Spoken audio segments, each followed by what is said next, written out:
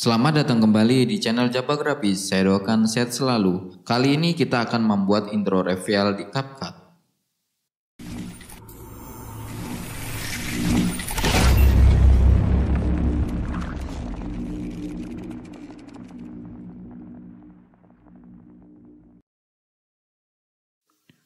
Buka CapCut versi desktop atau bisa juga menggunakan CapCut versi mobile. Sekarang pilih import. Untuk bahan-bahan ini kalian bisa mendownload di deskripsi. Kita masukkan semua bahan. Pilih bahan video background, masukkan ke timeline.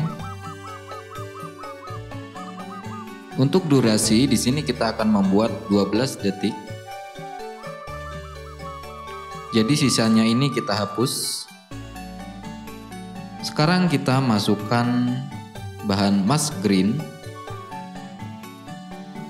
Kemudian masukkan logo. Untuk panjangnya kita jadikan 12 detik. Kita letakkan di timeline awal di sini untuk logo kita tinggal mengikuti warna green screen. Kita aktifkan keyframe scale dan keyframe posisi. Kemudian kita kecilkan saja ukuran logo.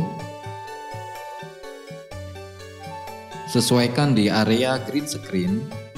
Kemudian kita geser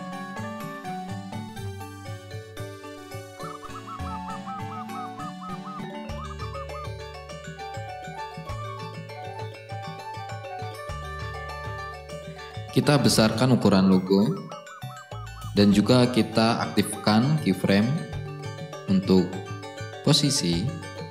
Kita geser sedikit kita kecilkan ukuran logo.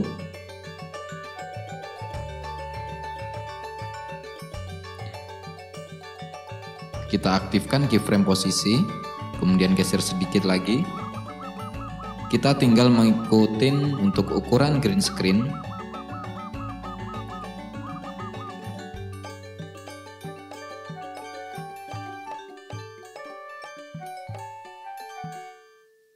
Kemudian kita besarkan ukuran logo.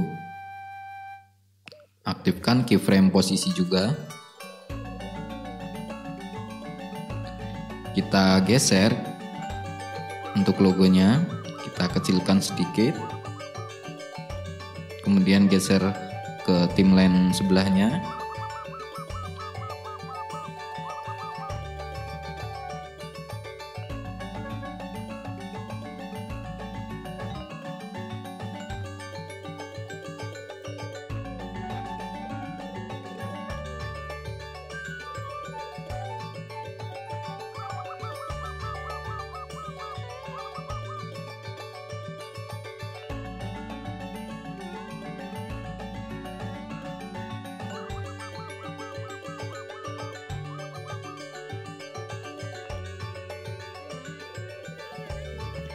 Kemudian kita geser sedikit untuk durasinya. Kita pilih split untuk layer logo. Untuk mask green ini kita hapus saja karena sudah tidak terpakai.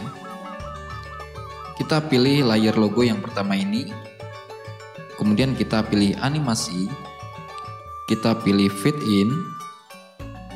Untuk durasinya jadikan 2 second.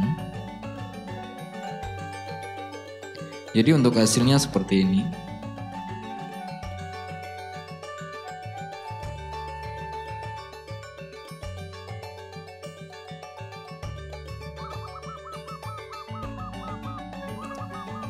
Sekarang kita masukkan bahan mask black yang ini.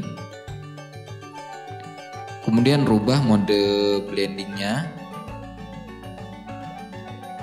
Jadikan multiplay.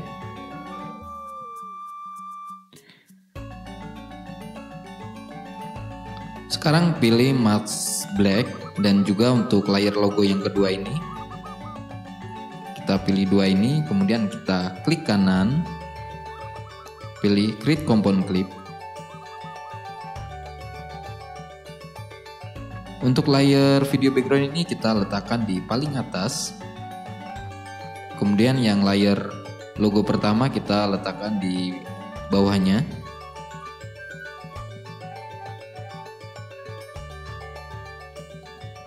Pada layar video background kita rubah mode blendingnya jadikan screen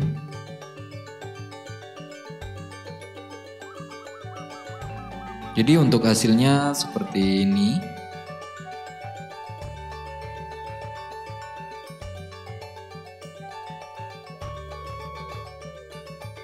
Untuk audio kalian bisa mendownload di deskripsi.